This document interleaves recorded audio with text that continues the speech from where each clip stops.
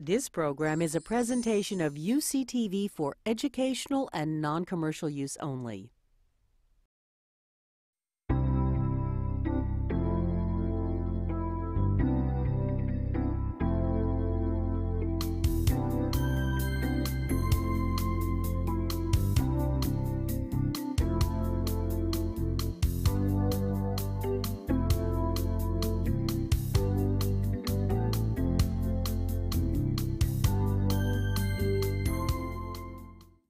Our next speaker is Chris Calwell from Ecos Consulting, who's going to tell us what he would tell the president about appliances. Uh, does the White House need new refrigerators? Thank you, Alan.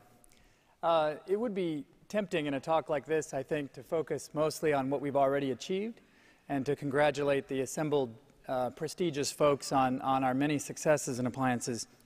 But I'd like to challenge us instead to think about what we can and must achieve in the years ahead. And uh, as the old saying goes, it can be hard to see that far into the future, but I think we can do it because we're standing on the shoulders of giants, including art.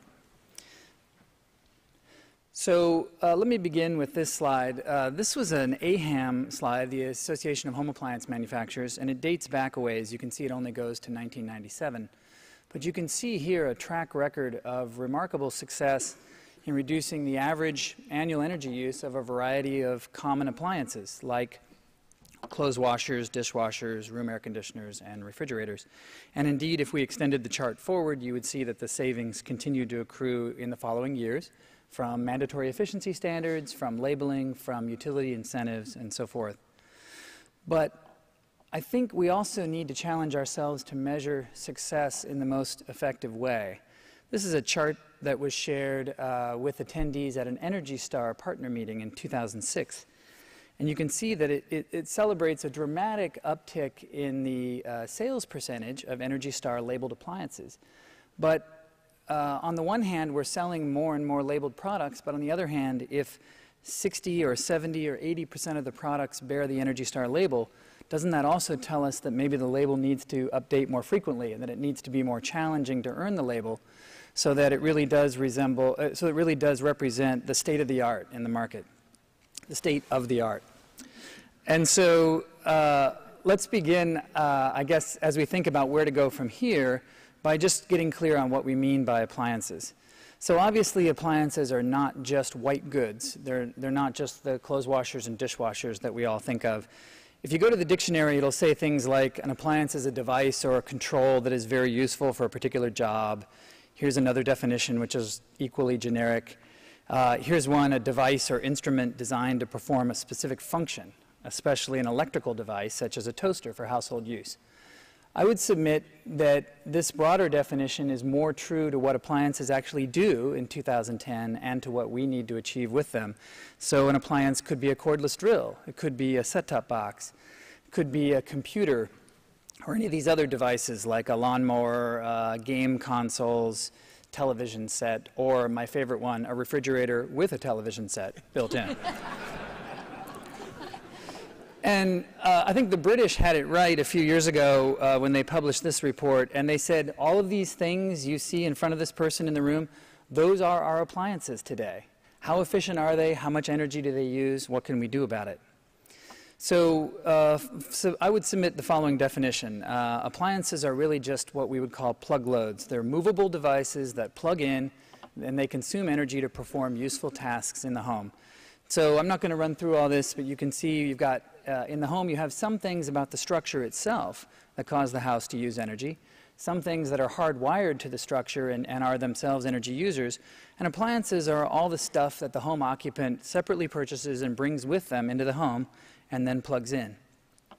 I'm indebted uh, for this chart to Gil Masters of Stanford, but if you look at this, it's quite astonishing how um, some devices like automobiles and the telephone and, and electricity itself took literally decades before 60, 70, 80% of Americans had them in their homes. As you move more and more to the left, you see that the curves are getting vertical. And even this chart uh, dates back to 1996. So if we were up to update it today, you'd see that things like the internet, the personal computer, and the cell phone have rocketed to massive adoption in very short periods of time.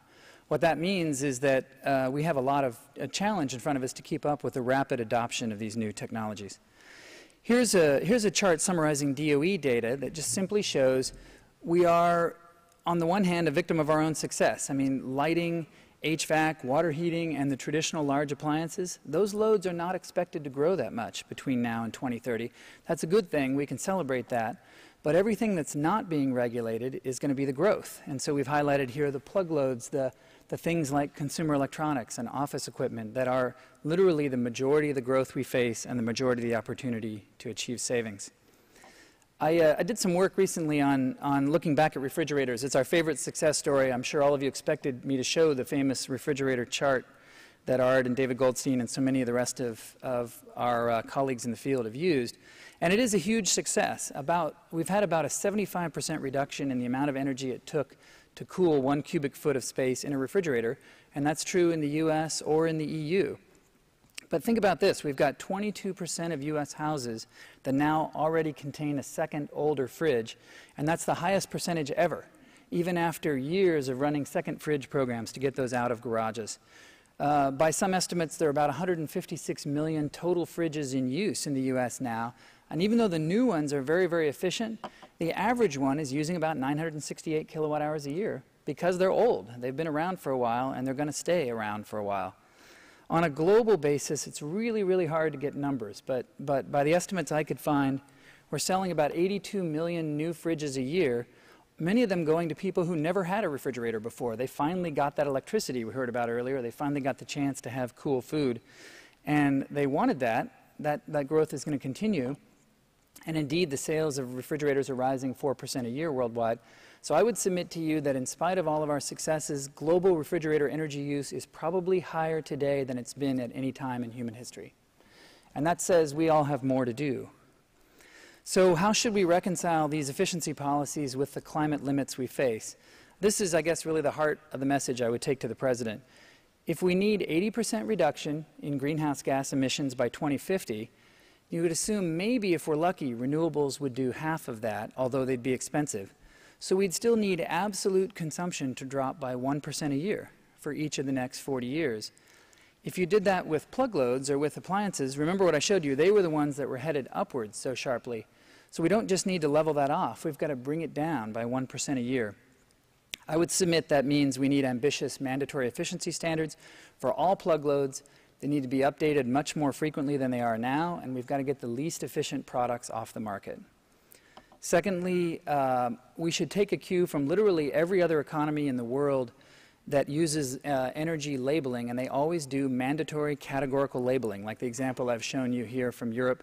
We and, and Canada literally stand alone in not choosing this form of label, and yet it's been shown to steadily drive purchases toward the most efficient products and away from the least efficient ones. Consumer education and incentive efforts should be focused on greatly increasing the market share of the most efficient products, including efforts like Top 10. And then lastly, uh, progressive efficiency specifications that say the larger and the more powerful your product is, the more energy efficient it needs to be to ensure that absolute consumption stays low. There's a philosophy of efficiency we would challenge all manufacturers to follow. I won't take you through all these, but in lieu of a specific quantitative requirement for each kind of product. These are the kind of themes that if every manufacturer followed with what they made, the products would be inherently more efficient. And this list was developed with input from many of you at an ACEEE summer study some years ago. We recently did some measurements for a client to ask the question, well, if you thought about consumer electronics like appliances, how bad are the worst ones? How good are the best ones? How far do we need to go to improve? I just highlight a couple examples here that really stunned us. If you take something like playing a DVD uh, or a Blu-ray, you know, you sit down to watch a movie, you could do that in a high-end gaming PC. You could do that with your game console, like a, like a PS3. You could do that with a standalone DVD player. The differences in the amount of power it takes to do that can vary not just by 30 or 40 percent, like you're used to dealing with in appliances. They can vary by factors of 50 or 100 or more. And so there's a gigantic energy use difference in what device you choose and how efficient it is. And that's why we mention that products need to scale their power use to how much work they're doing. Because computers right now and, and game consoles are not very good at that. They, they draw about the same amount of power no matter how hard you want them to work. It's a big, big opportunity for savings. Here's another example. Um, Energy Star created a, a, specification which was pretty ambitious at the time to help computers use less idle power. And so you can see they had a category for low-end computers and one for slightly more powerful computers and one for very powerful computers. And indeed, uh, the cutoffs helped to bring average power consumption down a little bit. But the most energy efficient computers were drawing radically less power than the Energy Star spec and radically less power than most of what was being sold. So indeed, we now have machines like this one up here, which I've put uh, a keychain next to it for scale. This is a fully functional desktop PC. It's a few inches square, and it draws somewhere around six or seven watts when it's idling, waiting for you to do something. This is the kind of PC that could meet most people's needs in the office or home office environment and is not being widely sold or even people aren't even aware of it in the United States. That's our future appliance standard. Uh, we've also been asked by clients to, to investigate the question, well, what about the traditional appliances that aren't being regulated at all? So we measured a bunch of clothes dryers recently in our lab at ECOS and found out that the test procedure isn't looking at the right thing. Literally, by assuming that all dryers behave similarly, it misses the efficiency opportunity. Here you see big, big differences between dryers all being asked to perform the same basic function. And we estimated that just fixing the test procedure and then basing standards and labeling on that could save the U.S. $3 billion a year. And dryers are the largest single end use for which we have no labeling and no significant energy efficiency standards or utility programs. On refrigerators, our favorite success story, these are some data that ACEEE put together recently. Yes, refrigerators have gotten better. Yes, the range of differences in efficiency is narrowed. But notice that you've got some kinds of refrigerators that just inherently use a lot more energy than others. It makes a lot more sense to put the freezer on the bottom or on the top than it does to design the refrigerator side by side. Yet we still have separate efficiency requirements for each of those instead of driving the market toward the most efficient way of designing a fridge. I'd like to leave you with this visual, which is one of my favorites. Um, here we have people who are desperately interested in doing more to save energy, and uh, we've increased, in the case of Energy Star, you know, we've increased the amount of square inches of screen area on a TV that we can illuminate per watt. And that's great. But if we have acres and acres of screen area, it's just possible that we're going to use up some of the savings we thought we were getting by making the products more efficient. So I would challenge uh, this president and this audience to make sure that our efficiency gains keep pace with performance and sales gains if we really want to achieve absolute consumption. We have much to do, and I thank you for your attention.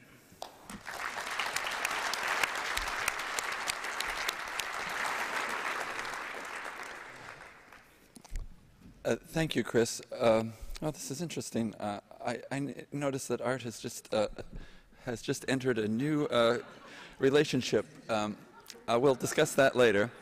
Um, this is, I think I want to share another dilemma of event planning with you, um, uh, including unexpected uh, transparencies or overheads. Um, as you've seen with a number of the speakers, we've been describing some of the areas in which art has worked over the years, from uh, everything from forecasting electricity demand to energy efficient refrigerators to energy efficiency in general to energy use in developing countries and reducing peak electrical demand. And of course, this wouldn't be uh, complete without uh, art's latest hmm, obsession, perhaps, or certainly concern, and that is reducing the, the effects of the urban heat island. Now, normally what we do is bring in one of the researchers who's been involved in that, uh, and that would be Hashem Akbari and he would speak uh, and describe some of the research that Art and he have been involved with uh, over the last 20 years. Unfortunately, Hashem can't be here, and in searching for a uh, good replacement speaker, um, the only person we could come up with is um, Art Rosenfeld. Um, and the problem, the problem is, you know, we only wanted these people to speak for 10 minutes. with that introduction, no Art, it's yours.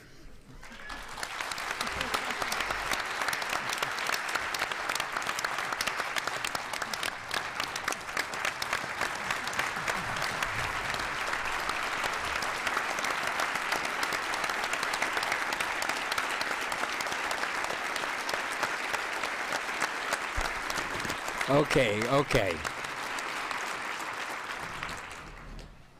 Um, uh, I'm, I'm going to uh, go to the first slide, which is what I was going to do to emphasize that, excuse me, I'm really stepping in for Hashem Akbari.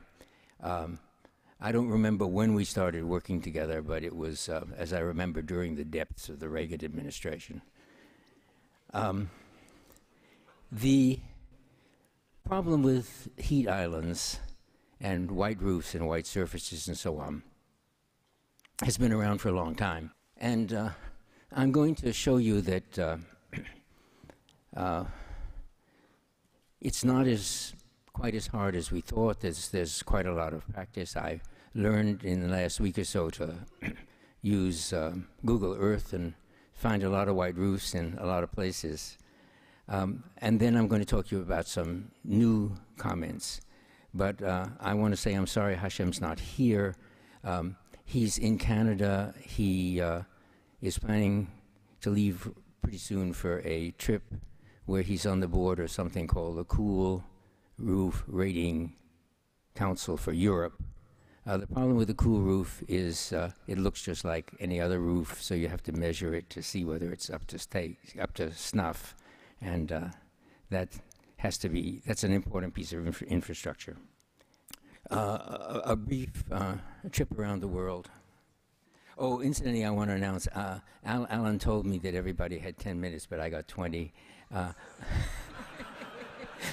I'm going to use uh, 15, and then I'm going to introduce my successor commissioner.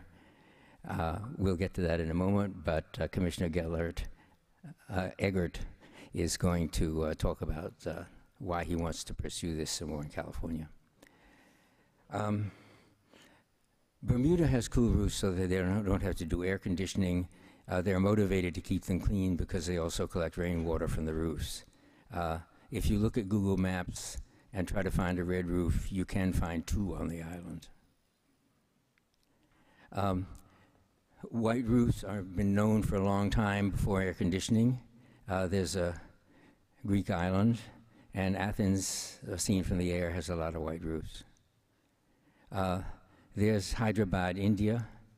Uh, this is actually taken from a tower of a picture I'll show you. Uh, I'll show you later. But here are some Indians whitewashing their roof so that they're a little more comfortable to sleep on at night and a little more comfortable to live under in the summertime. Uh, I got this one from Walmart. Uh, I think it's in Chico. I remember it's in Northern California. Uh, here's a modern Walmart store with uh, something like a thousand uh, skylights, which you can't see, and an occasional air conditioner unit. Uh, this is the Walmart parking lot where you can't see all the cars because there are a lot of trees. This is a competitor. Shame on him. this is his parking lot.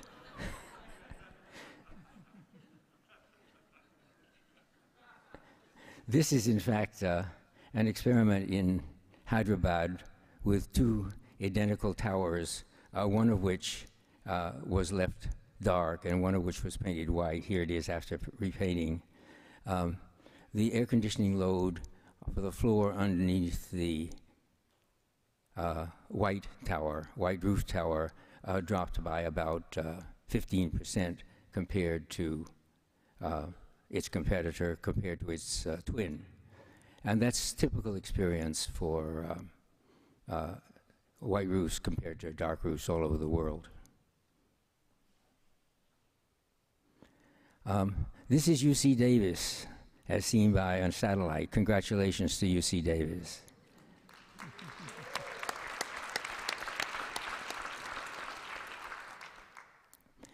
this is uh, Central Tucson. Uh, the university's in the center. It's still got a problem with a few old uh, terracotta tile roofs, but in general it's white, uh, including a sports arena down here. Um, what's interesting, however, is that the uh, people who know it's hot in Tucson, and uh, a lot of the middle class housing around, as you can see, is white roofed already. Uh, this is uh, modern American super middle class in Punta Gorda, Florida. Uh, almost every roof is white. Uh, this is uh, Washington, D.C. Uh, Henry Kelly and Cathy Zoi. The DOE building is right here. It has some feeble attempt not to be black, but aerospace is way ahead of you. The, the uh, Supreme Court is uh, the Supreme Court is nice and white, but uh, the Capitol building seemed to have some uh, copper, which has gone a nice color green, but unfortunately cannot be seen from the street. So uh, you may have a historic buildings problem there. The Pentagon has newly been refurbished, and uh, it has a green roof. Shame on the Pentagon. Um, this is uh, where we're going to go off and talk about white roofs and their future benefits. Um, in California, since the 2005 building standards, if a roof of a commercial building is flat, so there's no architectural issue, then uh, it must be white. Nobody has complained a lot. Uh, this is a typical new residential roof in California. Uh, if a roof is sloped, you run into architectural issues. Uh, the law, Title 24, says that in the hottest five climate zones of the state, starting, I think, uh, March 1st, um, if a roof is sloped, it must be at least a cool colored. And that's a technology I'd love to talk about and do not have time to. Um, question is if you look here, how much more energy do you use compared to a white roof? And so the next slide is a plot of uh, the solar absorptance, which runs from zero for white to 100% absorbing of the sunlight for black. Uh, where does a typical roof fall? And the answer is if it's red or green or uh, blue. No, no, blue roofs aren't very popular. Red or green or brown. Um, it, it's sort of halfway uh, as bad as black. So it's nice to have light colors, and it's nice to have a technology which uh, reflects as much of the invisible near infrared as possible. Uh, but anyway, going from a typical color to white uh, is illustrated here. A, a, good white roof runs about uh, 10 degrees centigrade, 20 degrees Fahrenheit, above ambient air temperature under at noon on the August uh, under the August sun. Uh, a and you can walk on it um, barefoot. Uh, if you go to a dark colored roof up here, you're running 50 degrees centigrade, 90 degrees Fahrenheit above ambient, and if you try to walk on it, you burn your feet. Um, if you don't believe me, try it sometime. Now, if the roof gets hot, it degrades sunlight from radiation which, to which the atmosphere is transparent into heat, which is subject to the greenhouse effect. The atmosphere, by definition, is transparent to sunlight because we live at the bottom of the atmosphere. We see sunlight clearly, and we can see mountains uh, 40 miles away. And so uh, that's, the, that, that's the radiation you want to keep stay with and reflect back into space. Um, about 10 or 20 years ago, it occurred to almost everybody who works in the energy efficiency field to try to figure out whether there was enough white roof around to affect global warming. Uh, we weren't very sophisticated then, and there wasn't a carbon or carbon dioxide market. And the trouble is, if you try to calculate the efficiency of a white roof city uh, in cooling the world, you turn out to work in uh, milli-degrees, and it's pretty hard to sell. Um, recently, meaning two years ago, uh, Akbari and Surabi Menon at LBL and I, as at the Energy Commission, uh, decided that uh, it would be interesting, however, to state uh, the effect of a white roof in terms of avoided the word is offset, actually, offset tons of CO2. That is, a white roof, as compared with a dark roof, does cool the world a little bit. If you take the amount of cooling, radiative forcing, that is avoided by a white roof, and you equate that to the amount of heating that is uh, brought on by a ton of carbon dioxide, then we have a feeling for it because we know that carbon dioxide trades for something like $10 a ton. Uh, the, the slogan then that we put at the end of our article was that a small house, namely about a thousand square feet of white roof, replacing a colored roof, avoids the emission of about 10 tons of carbon dioxide. Now, the 10 tons is spread around the world, but if you want to think about it, uh, think of a, a, column of atmosphere above a white roof, and uh, think of the white roof is cooling the world as much as 10 tons stacked above that roof of CO2 would heat it. Uh, that was pretty interesting, uh, and nobody paid any attention. Um, and we weren't terribly sure of our calculations. We're not uh, climatologists. Uh, we, we, we know some things about the climate, like, uh, for one thing, uh, we, we know what the average cloud cover, cover, is above the land. Uh, we know that uh, carbon dioxide emitted from, say, a car or a factory, that only about half of that stays in the atmosphere. It gets into the atmosphere, and about a half of it disappears uh, sort of miraculously uh, in the first year, and then after there, it's up for a hundred or a thousand years. But we didn't know how to. We didn't have the access to a global climate model. Uh, recently, uh, the results of this paper, which I'm now going to refer to as Akbari et al., uh, have been modeled by the same group, except uh, Dr. Menon has access to a climate model. She's, in fact, a student of Jim Hansen's. And uh, she brought in some collaborators from uh, Goddard Space Station in uh, Greenbelt, Maryland. And they ran a model, including a land, global land surface model, and have uh, corroborated uh, our results of 10 tons per square feet by actually coming out with a, a real run uh, which got 13 tons per 1,000 square feet. Uh, and another group, uh, Oleson et al. at the National Center for Atmospheric Research in Boulder, uh, also at the same time came out with another run, and they also get about 13 tons of CO2 per square foot. So uh, we're, we're getting bolder and more aggressive. And uh, the other huge uh, support is that uh, uh, Energy Secretary Steve Chu has uh, taken up the ball on this and has been advocating white roofs around the world for some time.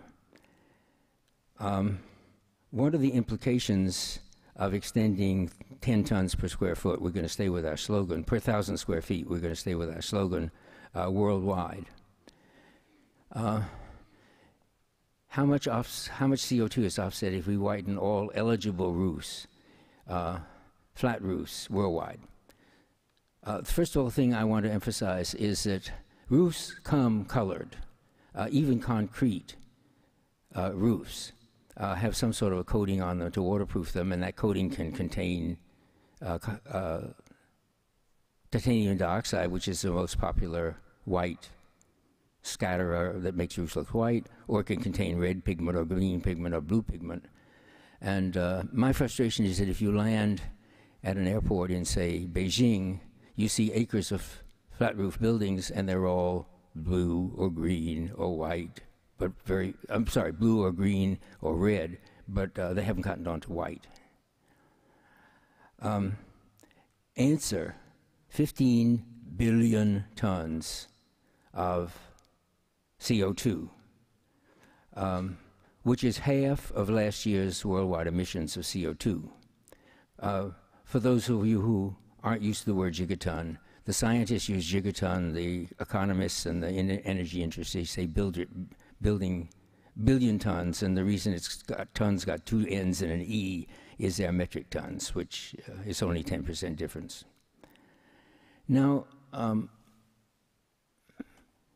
wh- what does it take to understand what uh, 15 billion tons means? Uh, if you paint a roof, the, the next, immediately the next day, the uh, world is slightly cooler, a nanodegree. Um, and everything else we think about is in terms of rates. Cars emit five tons a year into the US average cars, uh, four tons a year if they're world average cars, uh, but that's always per year. So, uh, in order to understand what this might be and how many cars off the road it might take, um, uh, Hashem and I have been selling the idea that you have to think of the lifetime of the roof or the time it takes the program to be implemented. They're both 15, 20 years.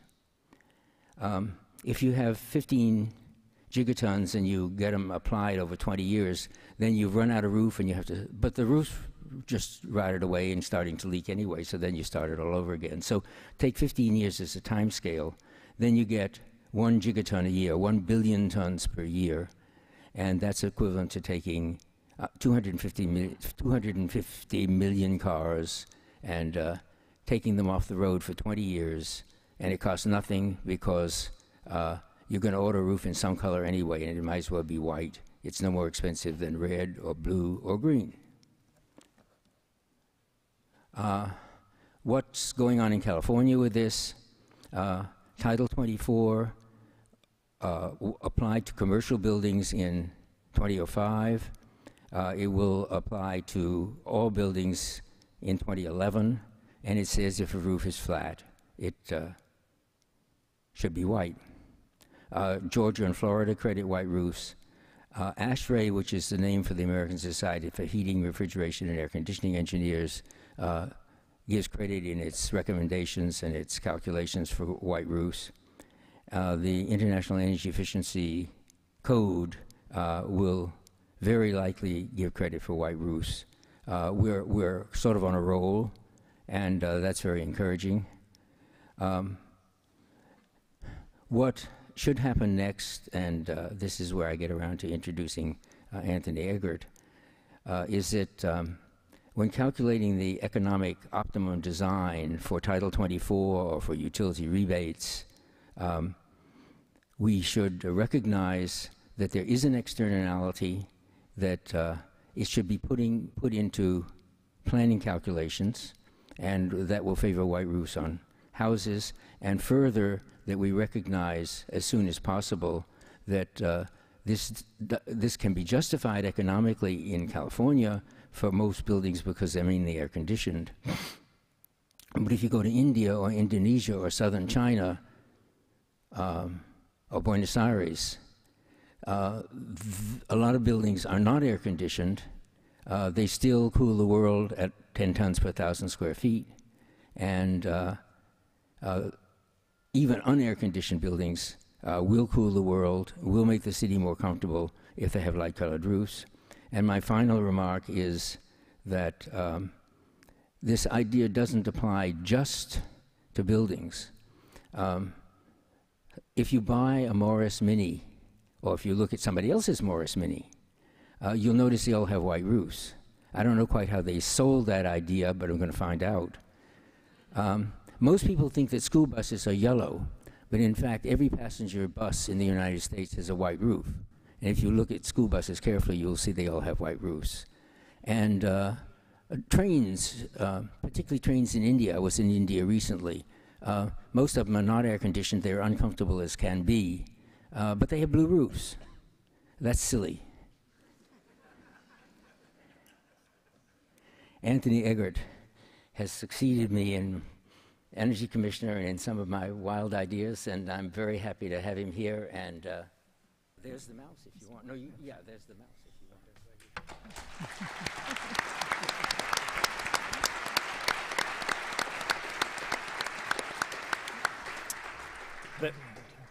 Thank you very much, Art. And I'm going to bring Art back up here for a, a proper uh, um, uh, thanking for this, this great talk. Um, Art did ask me to, to, join him for this talk to provide a brief update on California's policy uh, relative to cool roofs, and it is my great honor to do so. I would like to title the portion of this talk, Art's Cool Influence on California Policy. Um, to create and implement durable energy and environmental policy at any level of government really takes a combination of vision, ambition, uh, intellect, and persistence. Uh, or for those of you who were here earlier, uh, nagging. Um, art, art clearly embodies all of these great qualities in a single person, and he's a cool guy to boot. As Art outlined in his talk, cool roofs for buildings have now become an essential component of California's building policy. Uh, and as he, uh, he briefly mentioned, the 2008 building efficiency standards includes white and cool colored roof requirements for both new and retrofit residential and commercial buildings, depending on their climate zone. But they don't yet uh, include the uh, albedo or the credit for the externality of the albedo effect. Additionally, recently passed uh, 2010 California Green Building Standards codes uh, include, now include two additional stretch codes for cool roofs, which will encourage builders to go beyond Title 24 for age solar reflectance and thermal emittance values. Uh, there's two tiers. The first tier for residential is consistent with the Title 24 prescriptive level for non-residential, um, which is, which is uh, um, what Art outlined. And the second tier includes significantly higher values for both residential and non-residential buildings. And now for the first time, and because of ART's proposal, the 2011 California Building Energy Efficiency Standards will be evaluated for the extent to which roof albedo should be credited in reducing global climate change as a performance credit in the building performance standard. And that's directly uh, due to, to ART's uh, great advocacy.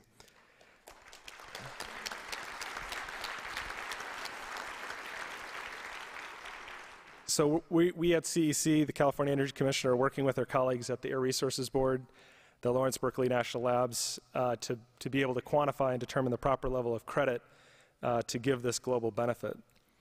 We've even made the use of federal stimulus funding cool, uh, as cool roofs are included in the checklist requirements for ARRA, American Recovery Act funded resident, residential retrofits. So when uh, people receive the funds for upgrading their facilities, um, that they will follow the, the cool roof policy of California. Our cars will soon be cooler. Uh, the Air Resources Board did recently adopt a regulation which requires that passenger cars, uh, trucks, and SUVs be equipped with windows that reduce the amount of heat that enters the vehicle from solar radiation. Uh, this means less heat inside the vehicle, which will allow the air conditioning units to be downsized or used less, uh, reducing both emissions and uh, energy consumption. And the state will now be a, a cool customer for cars. Our Department of General Services has recently added cool color and reflective windshield provisions for certain uh, state vehicle contracts, again, uh, directly uh, due to arts advocacy. Uh, finally, I would say no talk at a university would be complete about talking about the need for more research. And I think you know, one of the things uh, Art pioneered uh, in the policy arena is the idea of, of science-driven policy. And so we want to make sure that we have the best available research as we move forward in implementing policies uh, relevant to, to cool roofs and, and cool pavements and cool cars. Uh, the work of our uh, public interest energy research program has contributed already significantly to the research on cool roofing materials that are now contributing, contributing measurable energy and economic savings through our standards. Recently, our PIER Buildings team teamed up with Air Resources Board and the Lawrence Berkeley National Lab to further expedite the deployment of cool roofs and cool pavement technologies throughout California communities to save energy, reduce emissions, and improve the quality of life in urban environments. To name just a few of the tasks from this project, it will provide technical assistance to local governments for developing cool community programs and a website to provide consumers information about cool roofs. It will compare residences with and without uh, cool roofs to document both the direct energy savings and the indirect uh, global cooling or albedo effects.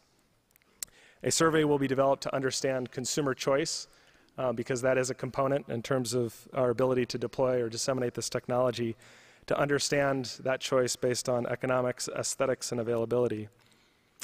Um, with assistance from Caltrans and others, the project will also experiment with various cool pavement technologies to develop a better understanding of their costs, albedo, durability, and life cycle energy uh, and greenhouse gas emissions.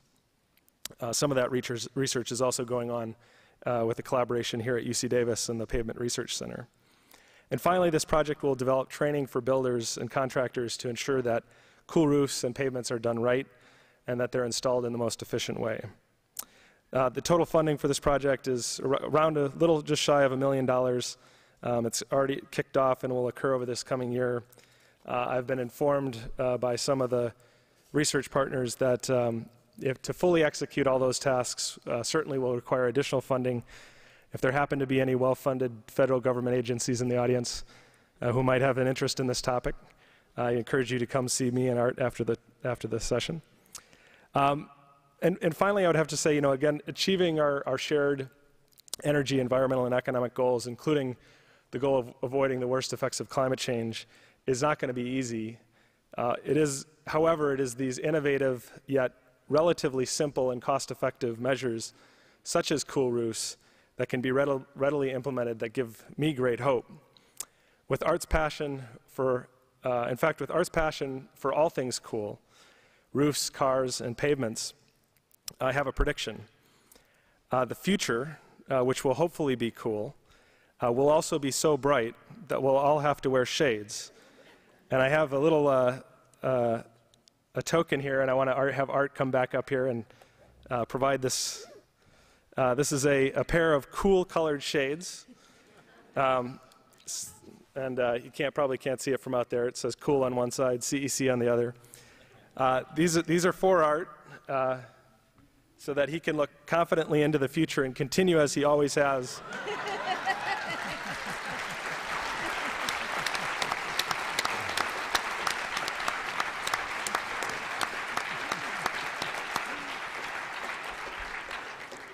And so that you can't see the audience. I, but you try it. Okay, well, actually, you know what? I did bring my own pair uh, um, because I'm, I'm hoping uh, in my new position I'll be able to also follow your vision uh, to the best of my abilities so that I can realize uh, every, many of the things that you started at the Commission.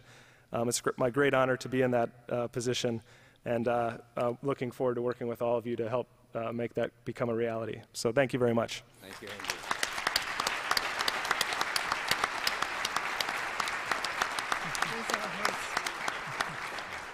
I forgot to make one comment about the slide of Washington, D.C., so I'm going to try the back slide business for a moment. Yes. Um, I wanted to point out one thing about this slide, which I think is, is interesting. Um, here's the Capitol with its greenish copper roof and the mall, and I pointed out the uh, Supreme Court building. Um, this is all East Capitol Street sort of thing. Um, it has lots and lots of white roofs. It's way ahead of the government. Uh, I, I, then thought that it would be possible to see how old these roofs were and uh, what was it like uh, 20 years ago. And that failed because uh, the uh, precision of the satellite maps got terrible as you went back 20 years. So you could just see big, blushy messes. Couldn't tell. But uh, I think it is encouraging that uh, it doesn't seem to be ho too hard for people to understand that you can reduce air conditioning bills and make yourself more comfortable if you have a white roof. So uh, I think we're at about quitting time. Um, I, I, guess I should ask if anybody in the audience has at most one. If you would allow me. All right. Uh, I, I, knew we needed a leader. Ralph is here. Th things, things are about to start happening very quickly. So first we're going to have a seamless transition in which I'm going to ask the existing panelists to remove themselves after a magnificent job, and the new panelists to come on. Thank you. And Dan Adler, if, if, if, he, would go over to my left, I'm Ralph Cavanagh from NRDC, and as the panels are changing, so none of you has the slightest sense that this is a moment when you can get up or absent yourselves from the premises because you don't want to miss one second Uh, I'm going to make a quick observation with my friend Joe Krovoza from the University of California at Davis. Now, the Friends of Rosenfeld, uh, and Art, you stay up there for sure. You aren't moving. You stay up on the platform. Uh, the Friends of Rosenfeld are delighted to have the opportunity through this symposium to honor him, but we are not prepared to stop here. Uh, and the University of California at Davis uh, has determined that it wants to associate Art's name permanently with the Center on Energy Efficiency and to establish, and this is something which Art and his friends have considered and applauded and approved, to establish the Arthur H. Rosenfeld Chair at the University of California Davis and at the Energy Efficiency Center as both a substantive and symbolic part of the effort to ensure that there are many more Rosenfelds for all of the policymakers in this room to employ.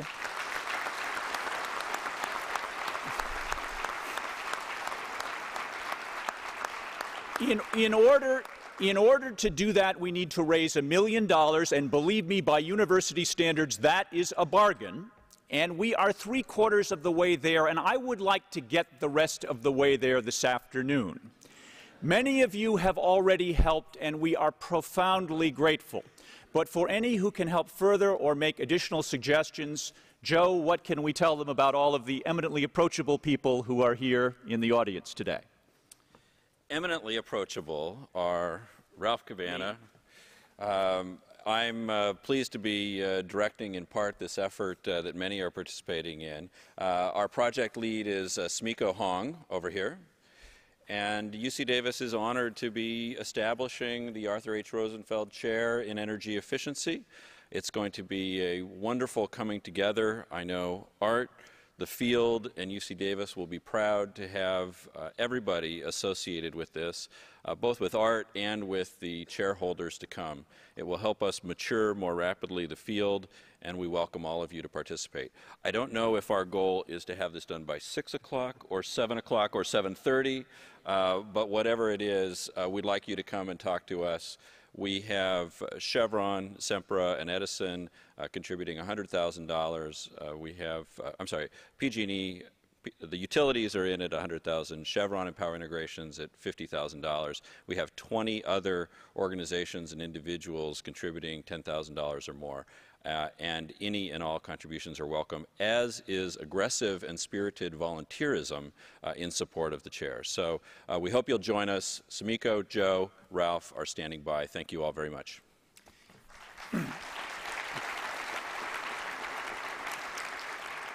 And the program is now in the very capable hands of Dan Adler, the president of the California Clean Energy Fund. Thank you very much, Ralph and Joe. Uh, this is going to be a, a, very fun part of the afternoon. Not that that data-driven conversation wasn't fun, but we're going to shift from talking about efficiency science and art's legacy to just really talking about art, which I think is kind of what we all want to be doing at this point.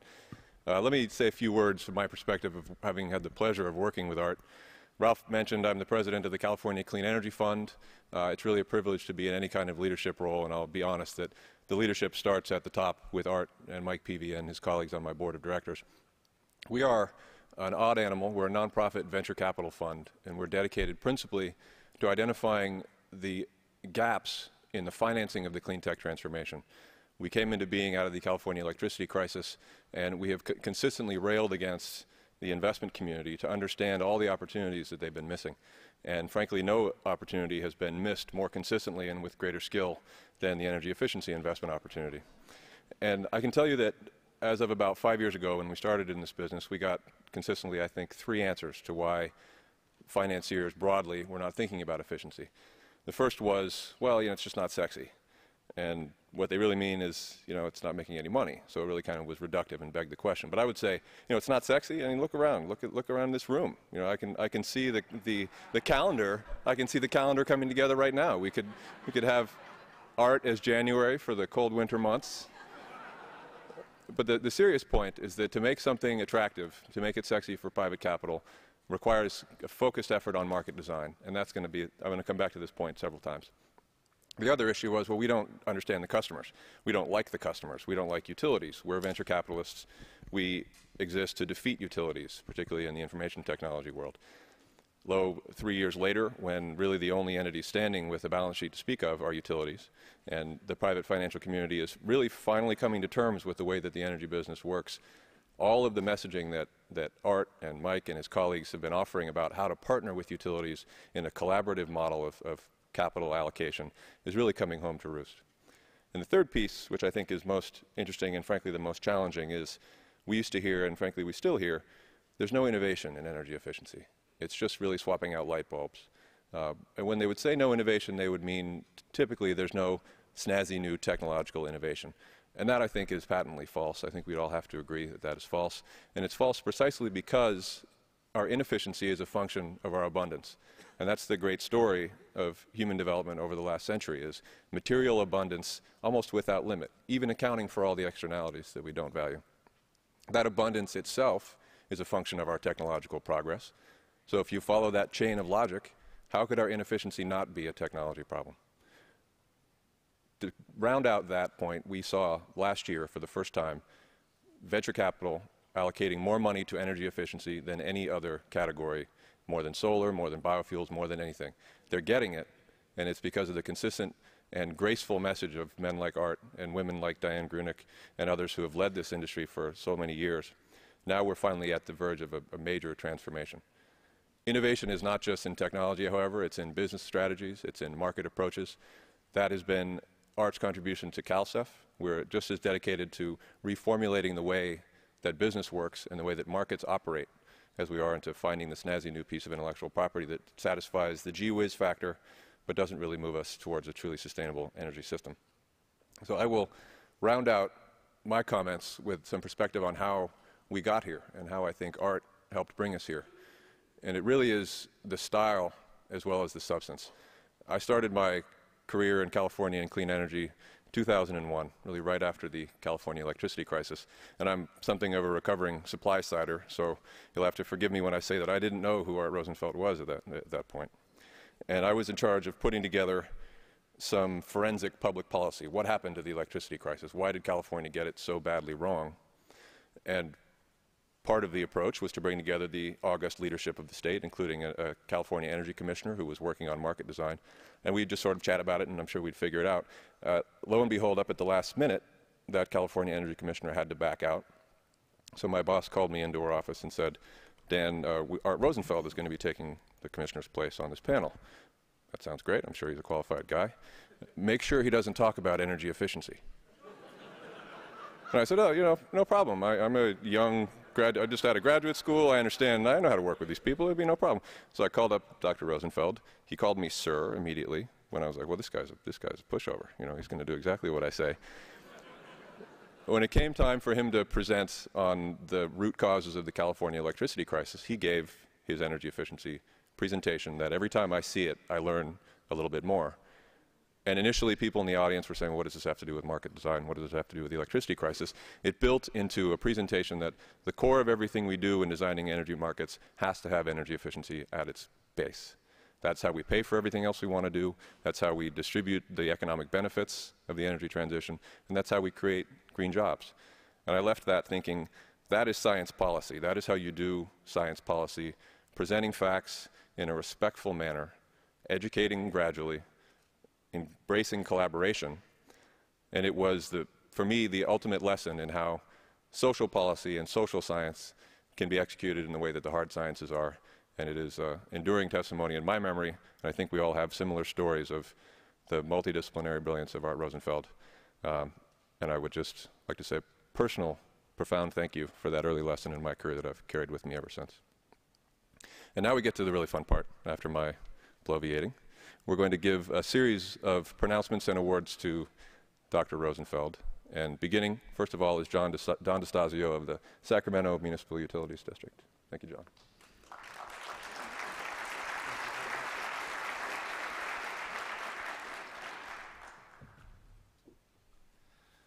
Thank you. I'm, um, I'm honored to be here to, um, on behalf of the SMUD board, and I might acknowledge that Bill Slaton from our board is here. Uh, Art's obviously been an inspiration to all of us. Certainly the SMUD board, Bill and his other six uh, colleagues on the SMUD board have been inspired by Art in the policies that they've established and the work we've done over 20 years. Um, I have a resolution to uh, present on behalf of the board today. But I will say I'm not going to uh, go through all of the whereas clauses. Most all of us uh, here are very familiar with Art's accomplishments.